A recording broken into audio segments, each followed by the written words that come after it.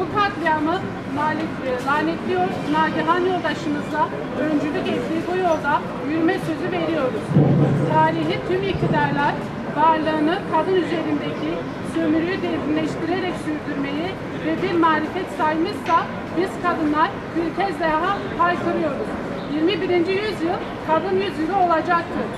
Dün hakkını nasıl verdiysek bugünden sonra devam edeceğiz.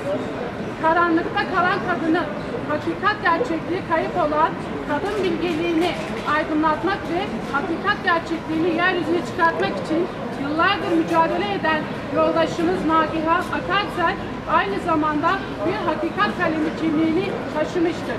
Nagihan ve yoldaşlarının öncülük ettiği bu hakikat kalemini susturamazsınız. Nagihan Akarsel erkek egemen sistemine karşı isyan gerekçemizdir.